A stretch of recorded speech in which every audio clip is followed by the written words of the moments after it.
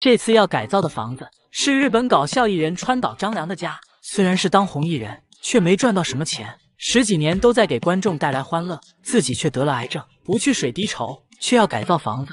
川岛老家位于东京市中心九楼的公寓里，家里孩子都长大了，剩下两个七十多岁的老人。每周末，三个孩子都会带着孙子回家探望，给老人平淡的生活带来无限乐趣。三个家庭一起回来的时候，家里就会突然变成十三个人，一大家子挤在餐桌边上，气氛相当融洽。家里还有特别为孩子们准备的玩具房，玩具多到离谱，拿出来都很麻烦。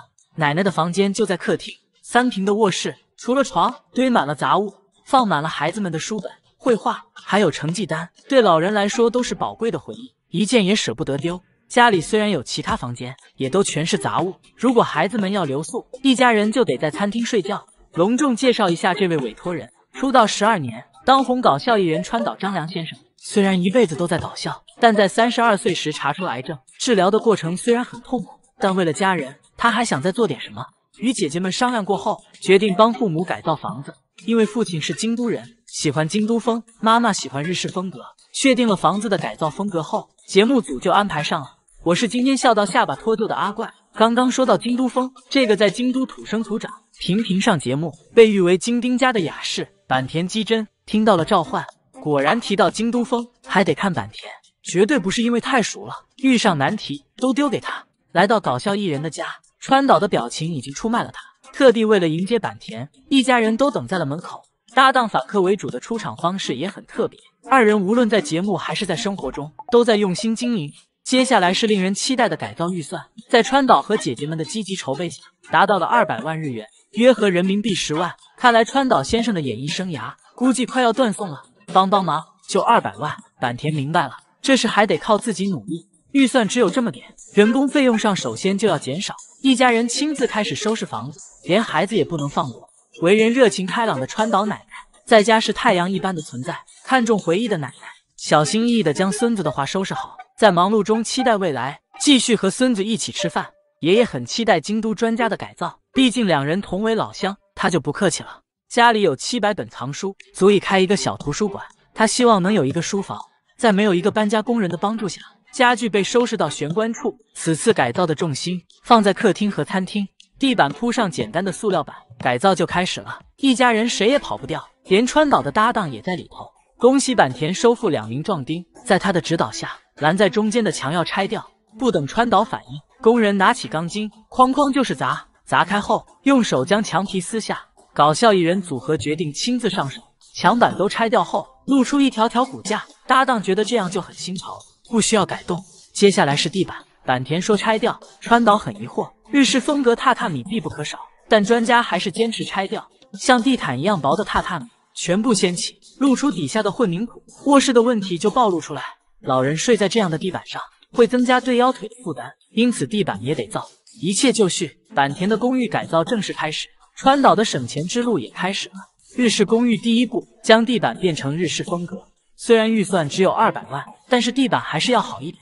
坂田决定用桂木，这种带有天然香味、保温透气的木材。川良觉得不可思议，这么少的预算居然用得起桂木。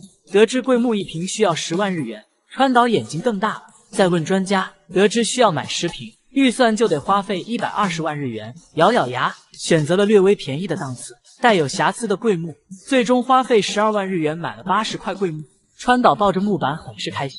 麻烦的事还在后头，买来的桂木需要进一步加工，利用柿漆将木材涂成怀旧风的地板。这种柿漆用未成熟的柿子捣烂成汁，发酵三年变成天然的褐色，加上黑色涂料，这样的油漆具有防虫、防腐和抗菌的效果。涂好的地板再用抹布擦出天然的纹路，京都风味儿一下就上来了。一块经过岁月洗礼的京都风地板，新鲜出炉。当然还有剩下的七十九块。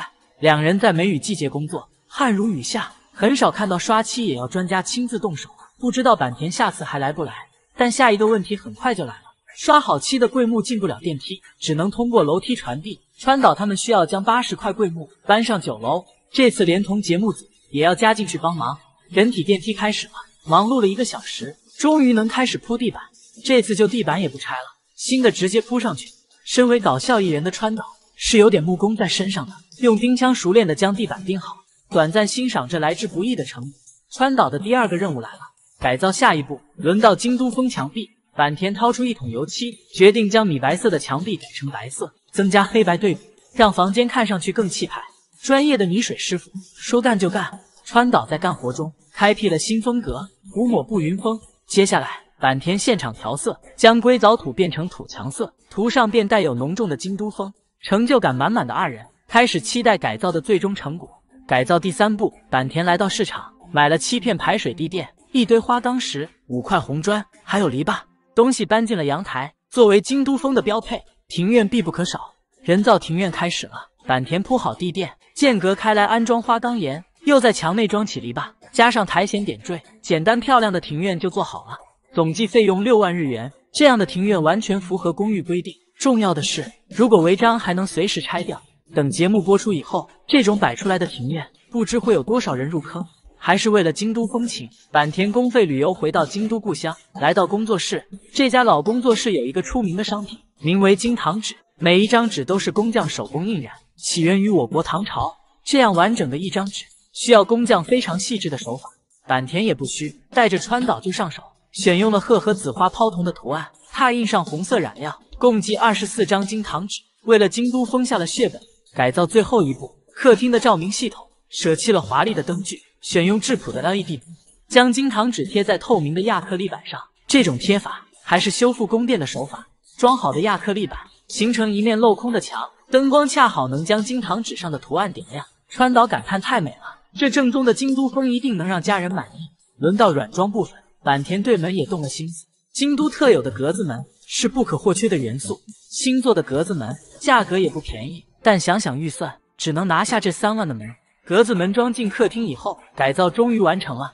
打开传统的格子门，京都风扑面而来。川岛奶奶的房间与爷爷的房间打通以后，变成了宽敞的客厅。原来狭窄的卧室也铺上了柔软的地板，加大了新的壁橱。壁橱门后还有黑板，孩子们还能在上面画图，作为一面全新的展示板，装点着这个家。拉开印有松叶图案的推拉门，就能变成独立卧室。厨房后方的位置抬高做成榻榻米，窗户旁做了书架，形成整个通透的格局。作为爷爷的书房，七百多本书通通都藏在榻榻米下。榻榻米拆分开，又是几张长凳，活用板块形成新的餐桌。宽大的餐桌，全家十三人都能在这安心吃饭。无聊的时候，还能打开落地窗，来到门口的小庭院，只要不往外看。就会忘记自己身处公寓。孩子们的玩具屋，乍一看是彩色的地板，一打开就像盲盒一样，全是玩具杂物。都搬到这个房间后，玄关处就多了一个房间。在坂田亲自监工施工下，没有超出预算，且漂亮的完成了改造。搞笑艺人绑着头巾，化身主持人，迎接一家人收房。打开门，爷爷起码震惊了五秒，地板就像京都的舞台一般漂亮。来到书房的位置，看爷爷的动作，行云流水，一气呵成。达成了窗前读书的愿望，踩在柔软的地板上，就像到京都旅行。厨房的壁灯照映着一家人的身影，爷爷和奶奶站在壁灯前，久久不能平复，甚至觉得京都都没有这么好的地方。缓缓拉开门帘，小庭院第一次在众人面前出现。爷爷惊讶道：“这里可是公寓，居然能做到这种程度，一切都有赖于坂田，但还是少不了川岛的用心。一家人终于能围在一起吃饭，住在随时都能感受到故乡的房子里，满怀儿子对父母的爱意。”搞笑艺人组合，在未来一定会更加搞笑。